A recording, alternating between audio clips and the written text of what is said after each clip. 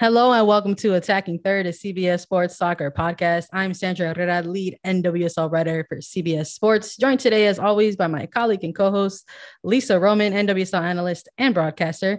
On today's episode, we have a special interview with a special guest, Lynn Williams, a forward for North Carolina Courage, United States Women's National Team as well, where she recently won a bronze medal in the Tokyo Games. She's got seven goals and two assists in the regular season with the team. How are you doing today, Lynn Williams? Welcome to the show.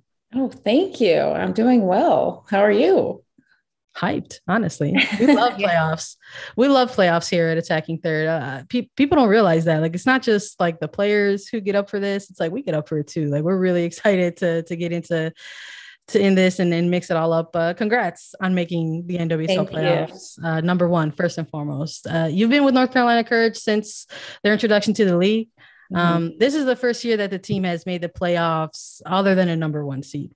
Mm-hmm. Um, talk to me a little bit about what the energy is around this team right now as as you all head off in, into the quarterfinals.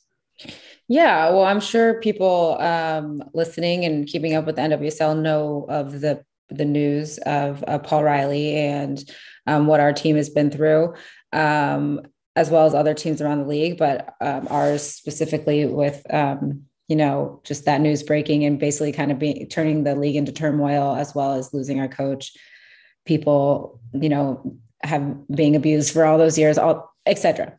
Um, but um, I think that right now, just to be able to make it into playoffs, getting another week together, um, supporting each other, it's it's an amazing feeling. Um, obviously, it's not the season that we're used to, but um, knowing that we have gone through all of that and making playoffs, I think it's a little bit sweeter. Um, it means a little bit more, and so yeah, the group was excited. You know, we we thought after we didn't go to Portland and win, um, we knew we still had a chance with the tie. Um, but seeing everybody's face um, in in the airport and watching and and cheering when we found out that we were going through and cheering when um, Washington scored their goal, it it just it makes me excited to play again, be with this group for one more week, and um, hopefully more weeks to come you and this team um, really have been through a lot when it when it comes to looking at at the the whole picture of things, whether it's on the pitch and off the pitch as well. Uh, is that really what it is is about right now? Even though there is like a quarterfinal coming up very soon for you guys, is it really just about sort of being this collective unit and just sort of taking things day by day and being supportive for one another despite whatever it is in front of you? Oh yeah, I mean, you know, we're professional athletes, we're competitors through and through. Like we're, we want to win every single game. Um, don't get me wrong. We want to go to Washington and we want to win and we want to win the playoffs.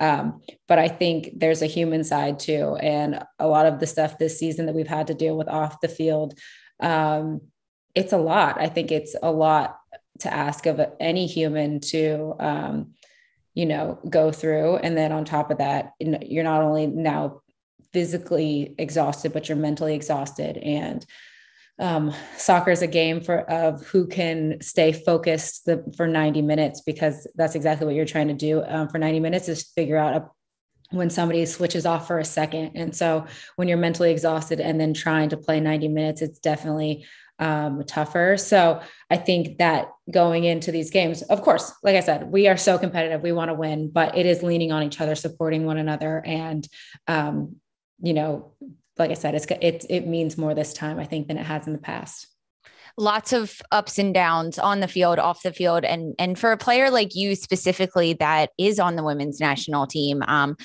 despite going to the Olympics and, and missing a chunk of the season throughout this summer, um, which congrats on the bronze medal, that's amazing. But but also having to split time between national team and club team over the last few weeks during these FIFA international windows. Still, Lynn, you are putting up seven goals during this regular season. I mean, if, despite missing all of this time, so now with North Carolina as you head into the playoffs, how do you feel about your attacking unit and, and you specifically as an attacker with this team when you've been in and out uh, floating between these two teams?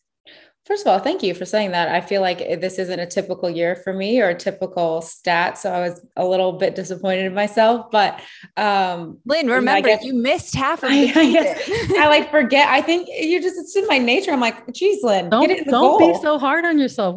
um, um, yeah, you know, I I am excited. I feel like I'm um in a good spot right now. Um coming in and out you know it's a whole different world a whole different beast than just playing um, with one team. Um, i think that that gets brushed aside how how hard it is to go from one system to the next system one philosophy to the, next philosophy knowing that when you're with the national team your your club team isn't just stopping it's continuing to push through.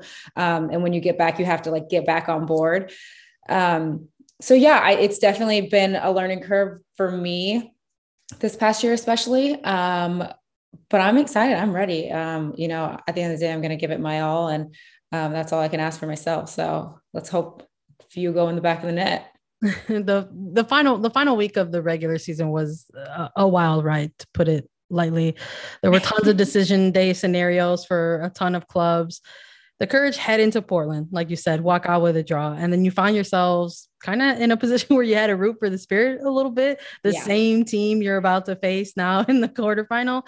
What what was that weekend like for you personally? Just sort of having to to sit back, watch, and then wait and see if you're in the playoffs. I, I loved the reaction. You were like, "Thank you, Spirit siblings." Like that was dope. Uh, walk us through that that process of those emotions yeah, so we we go into Portland. We obviously know what we have to do to uh, guarantee not guarantee a spot, but give ourselves a better chance because we knew that that Houston Washington game, um, no matter if we won or not, was it was going to come down to that game for us. And so, um, you know, go to Portland, we don't get the win, but we know we had an opportunity. Like we still have a chance with the tie, and I think everybody walked away from that game knowing we could have put it away. Um, walking away from the Portland game knowing we could have put away, but still feeling like optimistic, like, okay, we, we're still in it. Um, and then, you know, it was walking, going to, through the airport. It was like stressful. Everybody has it up on their phone. Um, everybody's anxiety is high. My, my palms are literally sweating. My heart is racing. Um, people were like having to sit in different corners because they're like, you're stressing me out.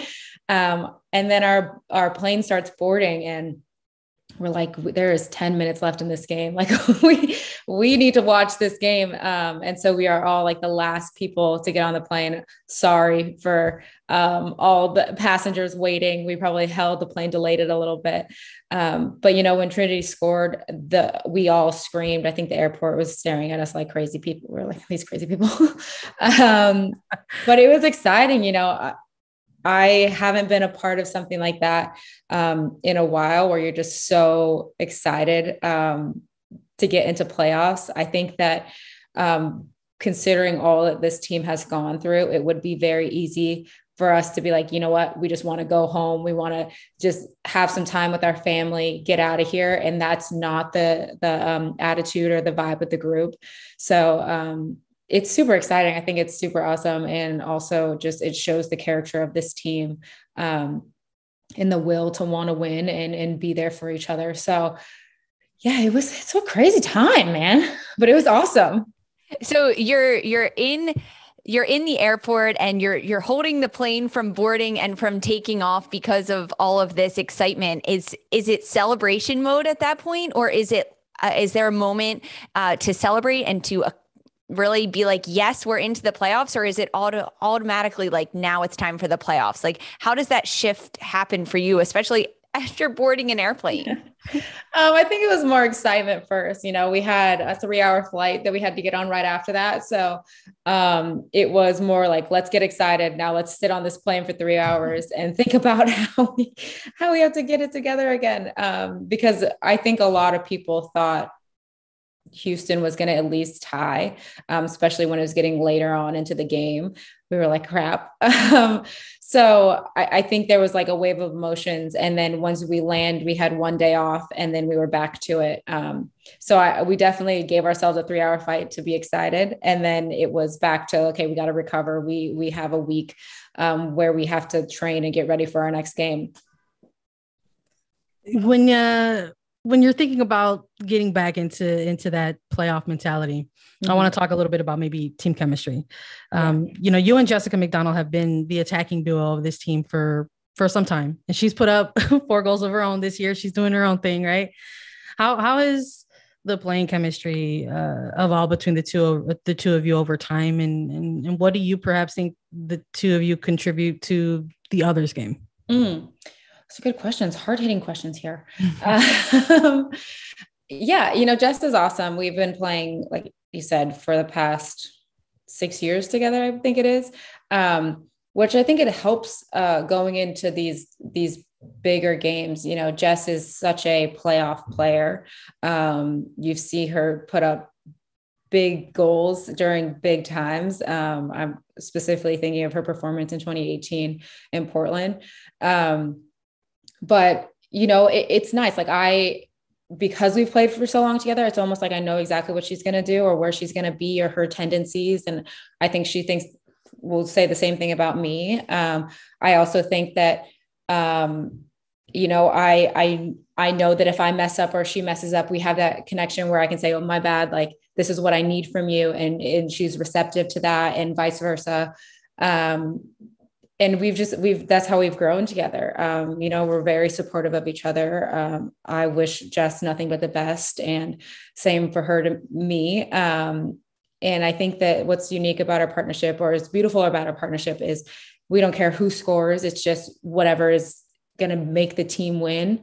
Um, and so I don't I don't know I could go on for days about we got 6 years worth of worth of stuff but um, it's been such an honor to um, you know, be her teammate for this long and um, watch her grow and grow alongside of her. And there's parts of her game that I've taken and um, tried to implement in my game. And um, I like to think vice versa, but who knows?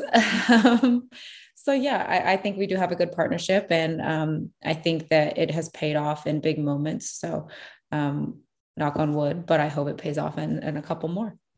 Yeah, a, f- a few more together with you guys up at, up at the top. Um, now, Lynn, when Sandra started this episode and this interview, she listed off of your listed off all of your accolades, national team forward, North Carolina forward, but you are also a podcaster and a podcast host. Sandra, you forgot that one, so we have to ask. I'm so sorry we have to ask about it because Sandra and I were friends and we're podcast hosts. You have a podcast with your friend and teammate, Ooh. Sam Mewis. Um, you're a podcaster. Welcome to the podcasting club. It's Thank pretty you. fun. Isn't How, it so fun?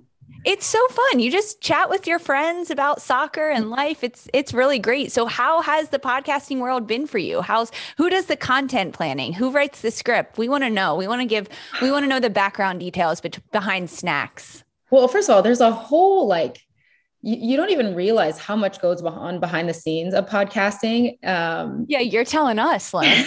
no, we actually do know. well, I know you know, but I think listeners don't really know. Um, and it, it's so fun. Um, you know, me and Sam we're super close friends. Um, I'm assuming like you guys. It's it's we have a joy talking to our guests. Um, so far they've been a lot of our friends but at the same time we've gotten to learn a lot about our friends that we didn't realize um, which has been also very exciting. Um, but yeah me and sam um, so we work with just women sports um, and i think they're a great um, organization. You know they they are putting women's sports more on the map and making it more visible and um, attainable to the like audiences who like sports. And I think that's such an amazing mission. Um, and so they came to us, asked us, if we're going to do the podcast for a while. We were like, no, we got the Olympics going on. We don't know if we can focus right now. And then um, when um, 2020 happened, me, Sam, her husband, and their cute little dog, Finn, um, we all quarantined together. And me and Sam just, we've lived together for four years and we would have all these like deep night talks or they would just be like fun talks late at night um, over either a dessert she made or dinner that we made or just something fun and when it turned 2020 our conversations turned from just fun to to real life stuff um, with you know george floyd and breonna taylor um, and I think we got to know each other a little, like on a deeper level. And um, I'm getting away from the question, but I promise I'll bring it back around. but we we started, you know, getting to know each other on a deeper level. And in that moment, when we then were asked again to do this podcast, we saw an opportunity where two people who come from different backgrounds, who don't look alike, can sit down and have deep conversations, but in a constructive and um, positive way. And I think at that time, we were like, I think the world needs to see this. Um, so but obviously we're soccer players so we we're like we're gonna bring them in with our soccer and just uh, hopefully um, our friendship and make it feel like people are just sitting in on our conversations having a, like a nice snack with us and um, having a, a, deep conversation but also a fun conversation and you know we write our scripts we write everything we um, i just you know, um, got on the phone with Sam earlier today and was like, all right, we're going to interview this person. What do we need to interview them about? Um, blah, blah, blah, blah. Uh, some part of the podcast we go off the rails i'm sure if you guys have listened and it's just nonsense. Um, and we are so grateful for just women's sports to be able to chop it up and make us sound good and give us the clips so we're um, i don't know if you guys have somebody who does that me, that part i don't even want to be a part of like that sounds crazy and tough. Let me let me tell you. I have listened and i love are you having an okay time? We need, we need the merch. I'm saying it right now. I'm putting it out. I need I need JWS to, to, to that is so that's a genius idea. Like I think that me and Sam have a pretty good balance um, because I'll say something crazy and then she'll be like, Lynn, that was so dumb. But then she'll do something like that and say, Christy, are you having an okay time? And I'm like, Sam, first of all, it's your sister you're in just just relax. Um, but, it was it was a it was a great episode. I think everybody should go and listen to it if they haven't yet. I've I have heard that that has been people's favorite episode so far. So maybe we have to bring it back. Talk it was it was really one of the good ones. And and you have had a number of guests on that one being christy sam's sister which is pretty fun to have on. But um so you come up with all the content planning and you yeah. do all of that. But do you, is it hard to have conversations with sam as a friend and be like we're going to talk about this on the podcast. We're going to have this conversation again. Does that happen um, I well, I think there's like because we know each other and we have talked off, like there are some topics that we're like, no, do not talk about that, don't ask. Um, and then there are moments where I'm like, I already know the answer to this, but I'm gonna just say it again um, as if I'm um, saying it for the first time. But then there are like stories. Um, I don't know if you listen to this one, but when I put my socks in the microwave, I was like, I have a story to tell you, but I need your like genuine reaction. So I cannot tell you until the podcast. um, so there's times like that where I'm like, okay, I can't tell you just yet. I love that. I love that that background to that is that it was authentic. That you were yes. like, I gotta get the authentic reaction. Yeah. yeah.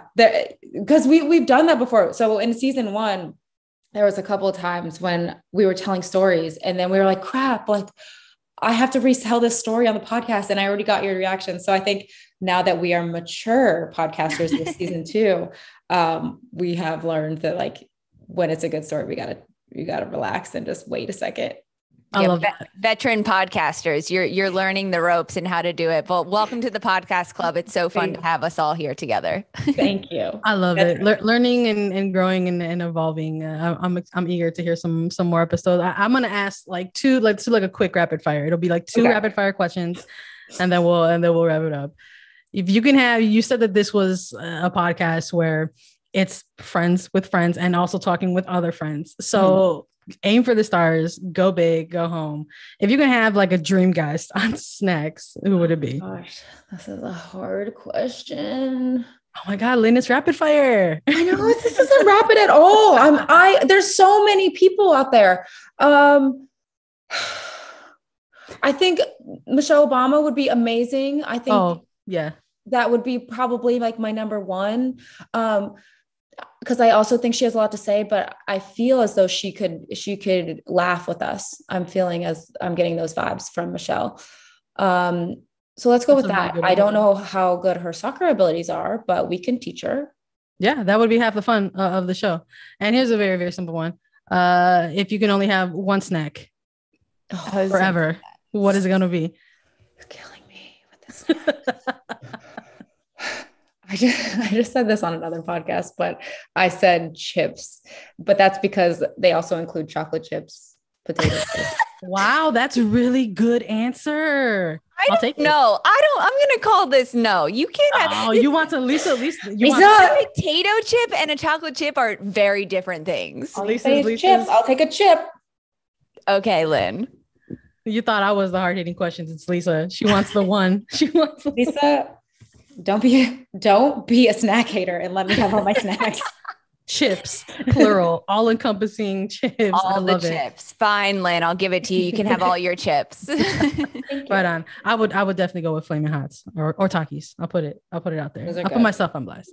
Uh, That is I, want to thank everybody uh, for listening. Uh, it was a fun episode. We appreciate you, Lynn, for joining us. Thank you for joining us. Good luck in the playoffs. Yeah. We have to remind everyone that we're on Apple Podcasts, Spotify, Stitcher, and anywhere else you listen to your podcast shows.